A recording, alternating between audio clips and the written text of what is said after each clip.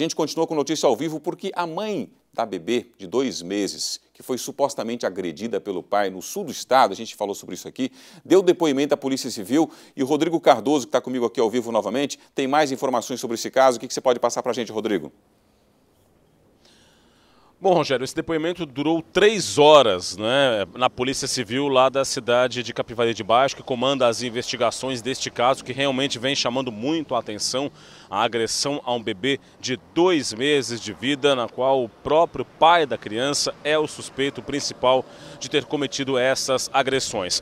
Nesse depoimento de três horas que a mãe da criança deu para a Polícia Civil, ela disse que não denunciou as agressões do pai ao bebê, a menina de dois meses de vida, porque, segundo a mãe, ela sofre de violência doméstica. Ela, mãe, sofre de violência doméstica há pelo menos quatro anos. A mãe está sendo investigada por omissão no caso dessa agressão ao bebê lá em Capivari de Baixo. Bom, neste depoimento uh, houve então essa informação de que ela sofria uh, violência doméstica e agora a Polícia Civil quer ouvir esse agressor de novo.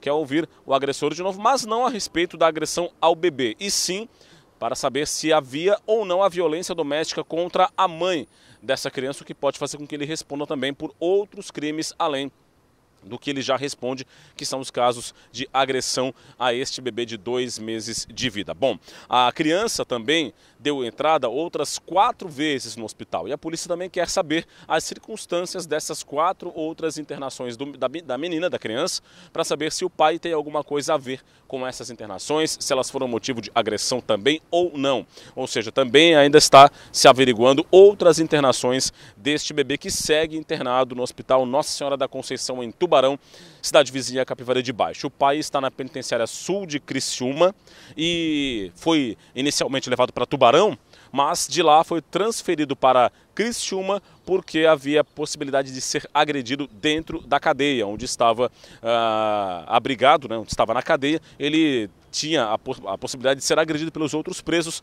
Tamanha foi a repercussão deste caso que aconteceu na cidade de Capivari de Baixo. A avó da criança também foi ouvida pelos policiais civis, eh, juntamente com a mãe dessa criança. Também, ela também prestou depoimento e agora ah, existe a possibilidade então de ele responder por maus tratos e tentativa de homicídio. E a mãe segue então com a possibilidade de ser indiciada por omissão neste caso, que realmente vem chamando a atenção e chocando todo o estado de Santa Catarina.